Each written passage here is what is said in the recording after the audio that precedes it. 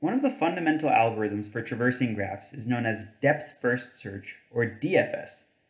If I have some graph that's a collection of a bunch of nodes that are connected with edges, if I have some starting point, DFS will start a traversal at the starting point, and then it'll traverse down a given path as far as it possibly can before returning, traversing down another path, returning, traversing down another path, so on and so forth.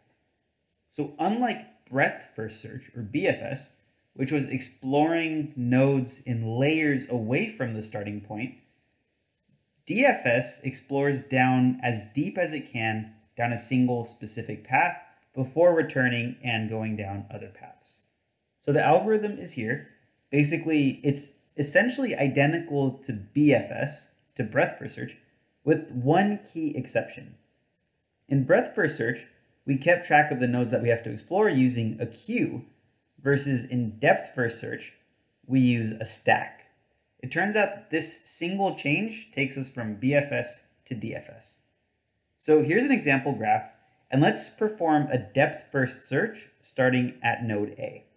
So the algorithm as follows. First, we add our starting node to a stack.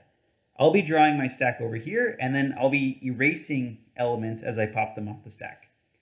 So, uh, so I'll say A gets added to my stack. Let's say the stack starts here. A has been added. While the stack is not empty, pop the current node from the stack. So I pop the current node from the stack. My current node is A. If my current node has not been visited, nope, I've never visited this, mark it as visited.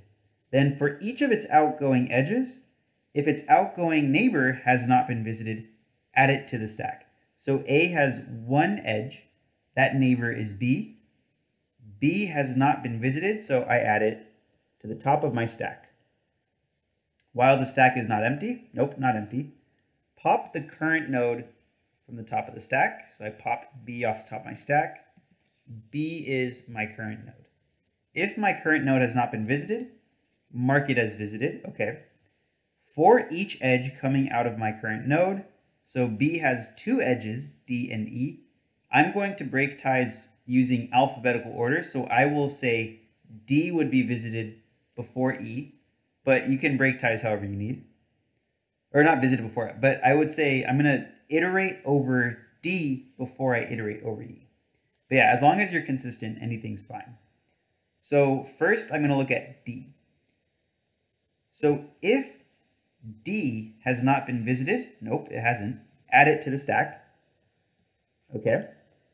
If E has not been visited, no, it hasn't, add it to the stack. Okay. Now, while the stack is not empty, no, it's not empty, pop the top one off of the stack. That's my current. So E is cur.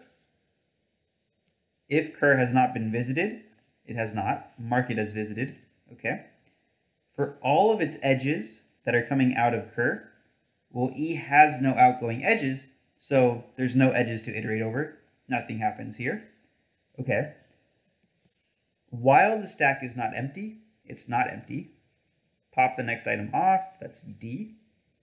So my current node is D. If the current node has not been visited, nope, it hasn't, mark it as visited, okay. For all edges coming out of my current node, well, there's one edge coming out of my current node, D to C. If that neighbor has not been visited, it has not, add it to the stack, okay. And now I'm done with this iteration of the loop. While the stack is not empty, it's not empty. I pop off the next item, which is C. So C is my current element. If the current element has not been visited, it has not. Mark it as visited, okay. For all edges coming out of my current node, well, C has one outgoing edge to E. So I'm looking at this edge right now.